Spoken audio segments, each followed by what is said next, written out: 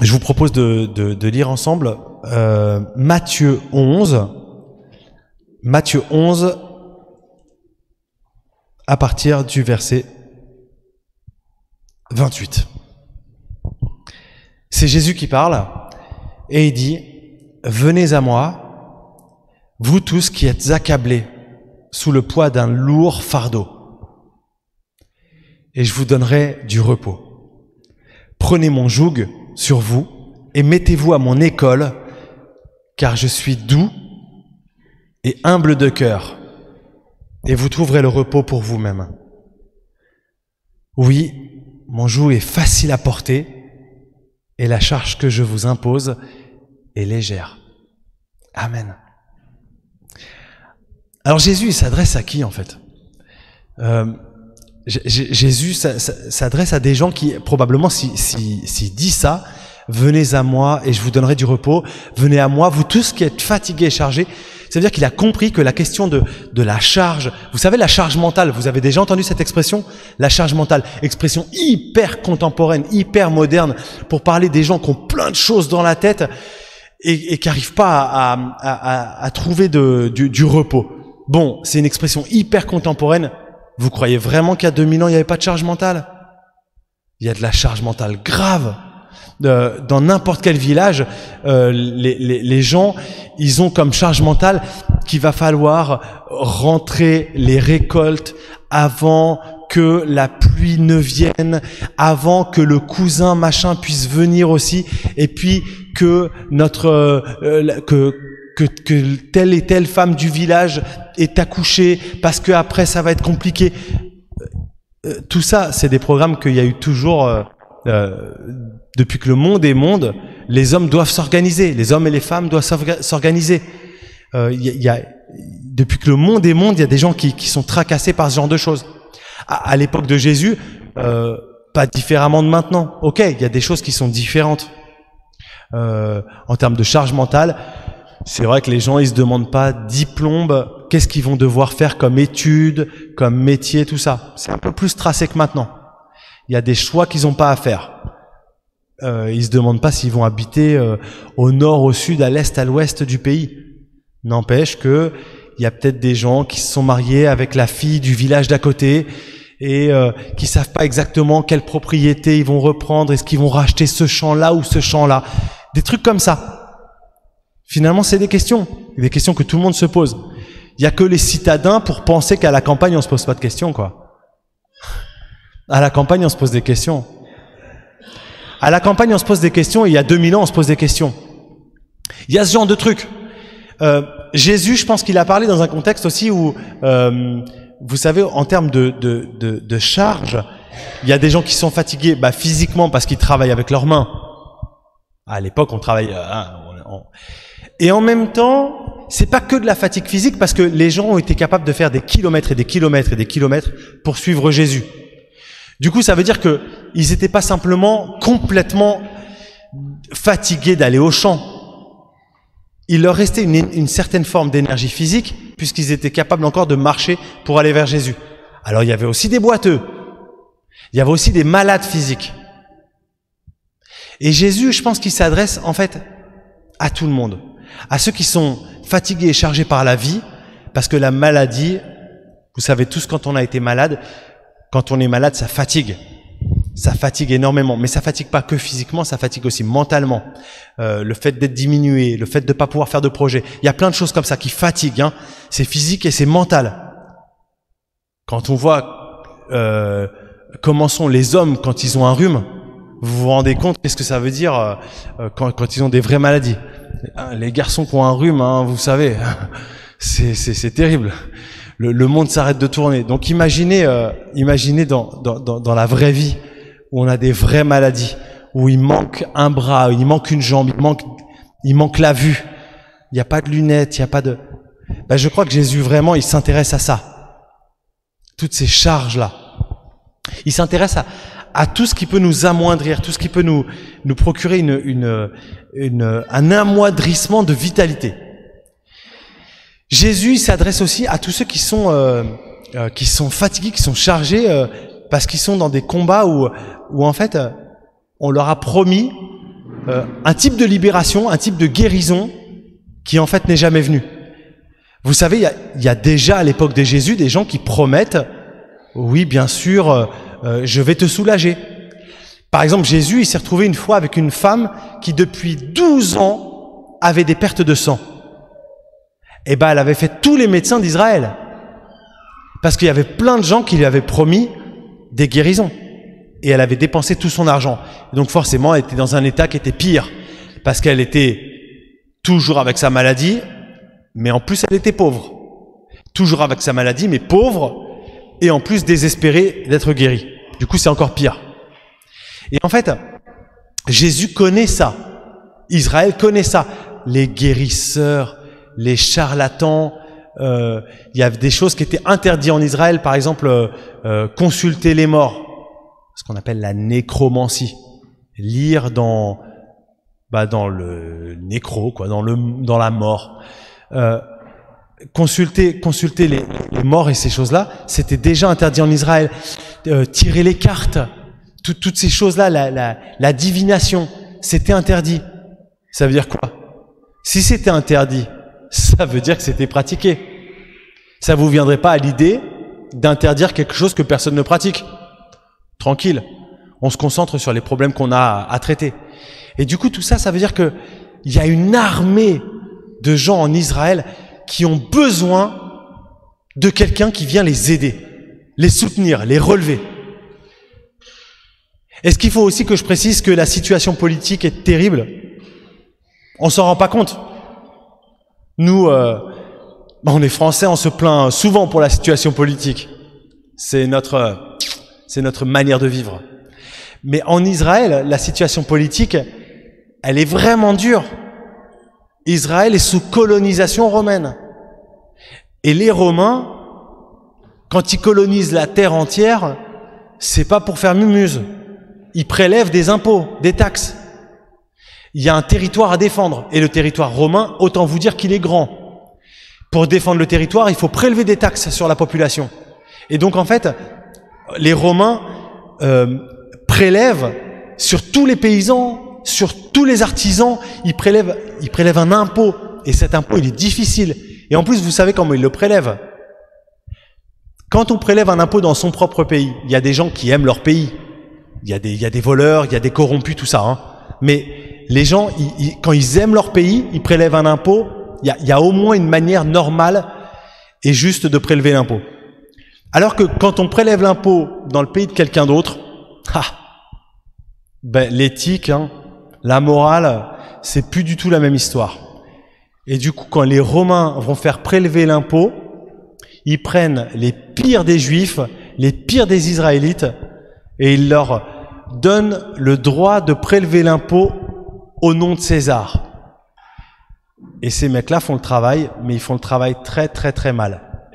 Tous ceux qui connaissent la colonisation, euh, comment elle s'est passée sur tous les continents du monde, euh, et comment elle se passe encore aujourd'hui, savent que quand un État est pris, euh, et eh ben la meilleure la meilleure manière d'asservir le l'État, c'est aussi de prendre les plus corrompus des personnes de, de cet État.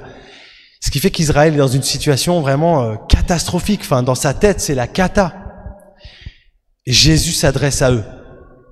Parce que physiquement, parce que moralement, ils sont détruits. Je pense que ces gens-là nous ressemblent. Parce que le monde est, et le monde et ne change jamais. Et je pense que nous ressemblons à ça. Notre fatigue, c'est un, un cumul de fatigue physique et de fatigue mentale et de fatigue en fait spirituelle. Euh, vous avez déjà observé que quand vous êtes fatigué physiquement mais que vous savez exactement pourquoi vous vous battez, vous êtes capable encore de marcher, de vous lever et de travailler.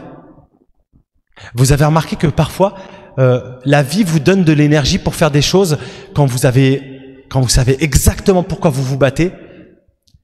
La vie, moi je pense que c'est Dieu, vous donne une force incroyable.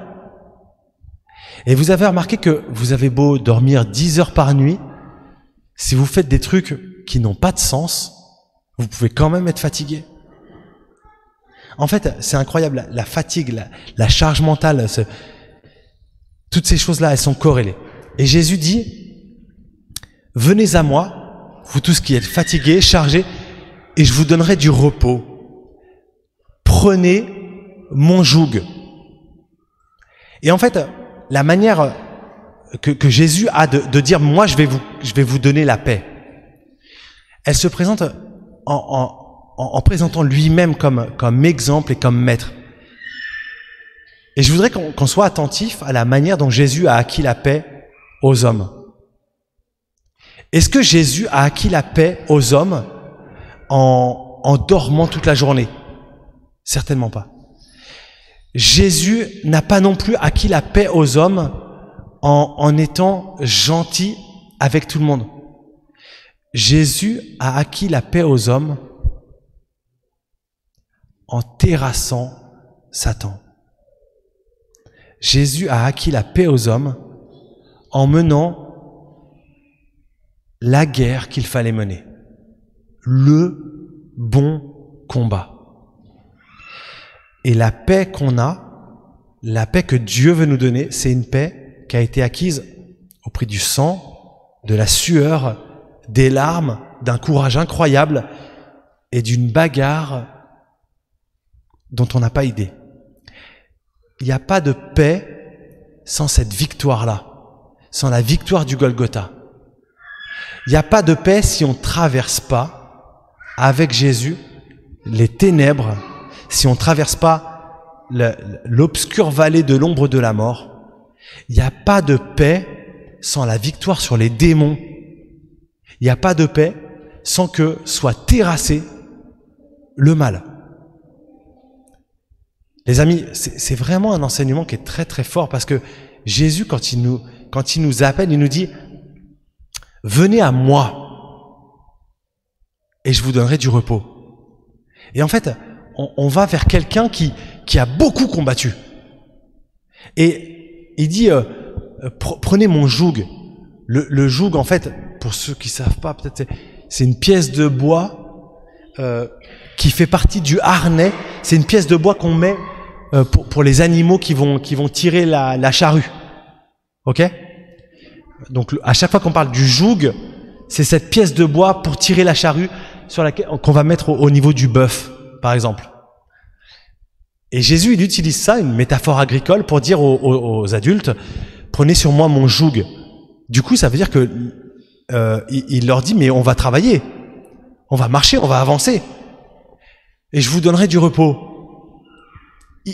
Si on tresse la métaphore du bœuf, hein, si, Jésus qui nous prend pour des bœufs, il nous dit pas retournez au pâturage, il nous dit pas retournez à l'étable, il nous dit prenez sur vous mon joug et marchez avec moi. je pense que c'est très fort, ça veut dire que le repos dont nous avons besoin, il passe nécessairement par la bonne guerre, la bonne guerre avec Jésus. Ça veut dire que euh, dans nos vies, il y a plein de choses qui nous fatiguent. Et le grand risque, c'est que quand on est fatigué, on n'a plus d'énergie pour mener la bonne guerre. Et on est dans un cercle vicieux avec tout ce qui nous fatigue. Je connais des gens, très précisément, hein, je connais des gens qui étaient tellement fatigués Qu'en fait, ils, se sont dit, il faut que je fasse attention dans mon calendrier, dans mon agenda, il faut que j'épure. Et ils ont épuré les choses qui leur faisaient du bien. Et ils ont gardé toutes les choses mauvaises. Je vous promets que ça existe. Par exemple, je, connais des gens qui, se disent à un moment donné, ah, euh, dans ma vie, il y a trop de choses. Euh, j'aimais beaucoup faire ça et ça à l'église et pour Dieu, mais là je sens qu'il faut que je me concentre sur moi et ça je vais arrêter. Je vais arrêter ça à l'église. Sauf que de l'extérieur c'est fou parce que parfois on voyait très précisément que c'était ça qui faisait du bien aux gens. C'était ça qui, les, gonflait, c'était ça qui leur donnait plein d'énergie, plein de force. Il y a des gens qui arrêtent une activité qui leur donne plein de force pour garder toutes celles qui leur donnent, qui, qui, les mettent, euh, qui les mettent mal. C'est fou ça. Je, vous promets que c'est vrai. En fait, c'est dingue à quel point quand on est fatigué, on peut faire les mauvais choix. Vous savez, quand on est fatigué, on peut faire les mauvais choix, alors que quand on est bien, on peut faire des bons choix. C'est ça qui est terrible. Bah, Jésus nous dit, venez à moi, et, moi, j'entends vraiment qu'il nous dit, venez avec moi jusqu'à la croix, et euh, en fait, terrasser la racine de votre mal par ma grâce. Euh, terrasser celui qui vous fait mal, celui qui vous fatigue. Et, très souvent, celui qui nous fatigue, c'est celui qui, qui en fait nous fait perdre euh, totalement le, le, sens de ce qu'on fait. Euh, il y a des personnes qui, qui, étaient dans un, dans un job, ils aimaient leur job. Ils, euh, ils avaient vraiment, euh, euh, ils savaient pourquoi ils étaient dans ce job. Et puis en fait, un jour, les relations se dégradent. Et puis du jour au lendemain, en fait, les relations sont tellement mauvaises que ils ont plus envie de se lever. Ils aiment plus ce qu'ils font. Mais au lieu de, de, ils savent plus comment ils, comment ils vont pouvoir euh, progresser là-dedans. Et au lieu de, de, de terrasser l'ennemi qui est les mauvaises relations, en fait, euh, ils cherchent une autre porte de sortie. Ils cherchent un autre travail. Et l'autre travail, ils le cherchent. Eux, ils sont dans des conditions morales terribles. Ils cherchent un autre travail, mais à chaque fois qu'ils se présentent à un employeur, ils ont une sale tête. Ça va pas pour eux. Et du coup, ils se font recaler. Et le seul truc qu'ils trouvent, c'est le taf de galère. C'est le taf euh, misérable où, où on va pas les, les, les aider à aller bien. Et en fait, c'est la descente aux enfers. Les amis, apprendre à traiter nos problèmes plutôt qu'à les fuir. C'est une manière de dire que apprendre à trouver du repos parfois, c'est trouver du repos dans la guerre. Trouver du repos dans la victoire. Trouver du repos en celui qui terrasse l'ennemi. Et parfois, trouver du repos, trouver un renouvellement dans notre job, c'est tout simplement avoir l'audace de mettre toutes nos relations sociales en pleine lumière. C'est d'aller traverser les conflits qu'on a. C'est d'aller résoudre des problèmes difficiles. La manière dont Jésus euh, se comporte, c'est toujours la même chose. La lumière, la mise en lumière. Et, vous savez à quel point les relations sociales, elles pourrissent la vie. Quand on demande aux gens, est-ce que vous préférez avoir un, travail bien payé ou un travail avec des relations extraordinaires avec vos collègues? Je crois que la plupart des gens répondent, franchement, en fait, je préfère un travail épanouissant. Un travail épanouissant. L'argent, personne ne crache dessus, hein mais d'abord un travail épanouissant. Mais en fait, concrètement, on ne traite pas ce problème, parce qu'on n'a pas le courage. Il y a beaucoup de gens qui ont peur de la lumière, qui pensent que quand il y a un problème avec un patron, quand il y a un problème avec les collègues, il faut baisser la tête plutôt que de le traiter. Même les problèmes relationnels, euh, collège, lycée, université, tous ces problèmes-là. Parfois, on pense que dans le travail en équipe, il vaut mieux avaler des couleuvres. Mais tu sais, en fait, les couleuvres, t'en avales une, t'en avales 50, t'en avaleras 500. Et quand tout le monde aura pris l'habitude que toi t'avales les couleuvres, tu seras juste la valeur de couleuvre. Et pourquoi? Pourquoi tu, tu changerais un jour de comportement? Tout le monde sait que tu changeras pas. Si t'en as avalé 500, t'en avaleras 500 000. Et en fait, la mise en lumière, c'est de dire non, je, pense qu'il vaut mieux une bonne crise. Je pense qu'il vaut mieux que, avec cette personne, euh, je lui dise la vérité de ce que je ressens. Euh, je lui dise la vérité de ce qui se passe pas bien pour moi. Qu'on se fasse la gueule pendant trois jours.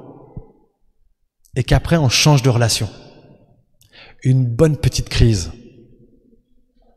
Eh ben, je crois que c'est ça, la mise en lumière. Vive dans la vérité. Vivre sans la peur, c'est traverser les combats, c'est c'est terrasser l'ennemi de nos âmes. Eh ben ça vaut bien bien mieux que de partir deux semaines en vacances loin de nos collègues de travail qui nous prennent la tête. En fait, ce dont, dont on a vraiment besoin, c'est de traiter nos problèmes. Il vaut bien mieux, euh, il y a combien 52 semaines à peu près dans une année? Il y a des gens qui ont à peu près six semaines de congés payés. je suis pas très fort en maths, mais grosso modo, 46 semaines pourries, 6 semaines pour se reposer, en fait, il vaudrait mieux que vous fassiez l'inverse. Il vaudrait mieux traiter les 46 semaines et, et, et, et, améliorer les 46 semaines. Et puis comme ça, les 6 semaines autres, bah, vous partez en mission pour le Seigneur. D'accord? Euh, Traiter nos problèmes réellement. Je pense que c'est vraiment un enseignement de Jésus. Euh, traiter la bonne guerre et la bonne paix. Vous savez, l'année dernière, j'ai lu euh, de la sagesse du monde, hein.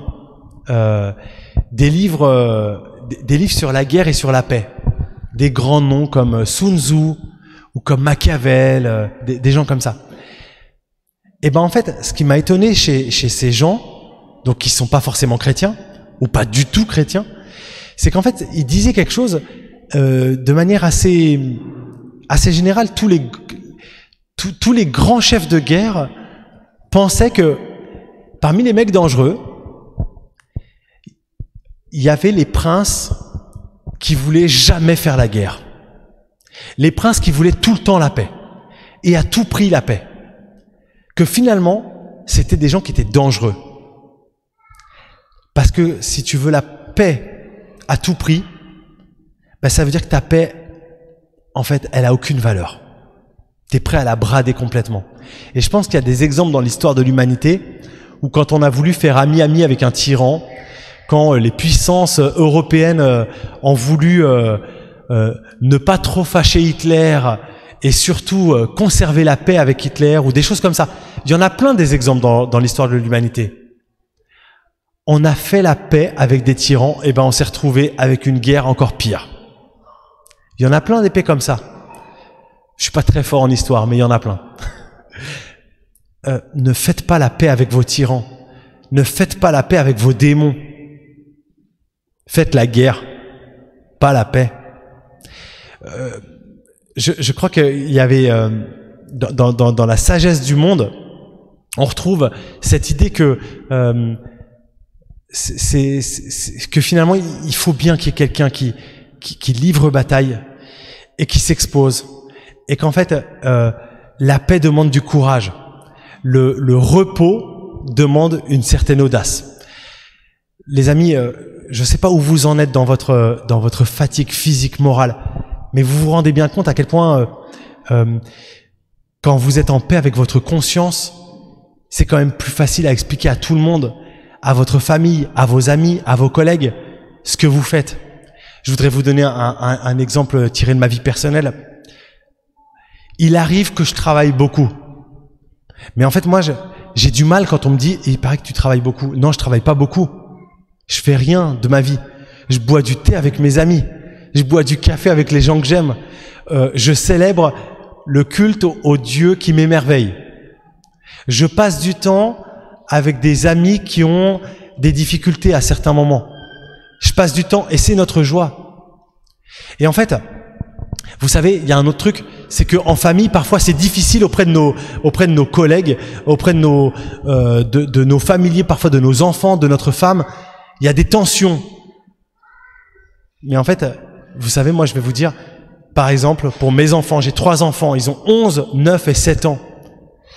En fait, c'est assez facile de leur expliquer pourquoi je m'en vais.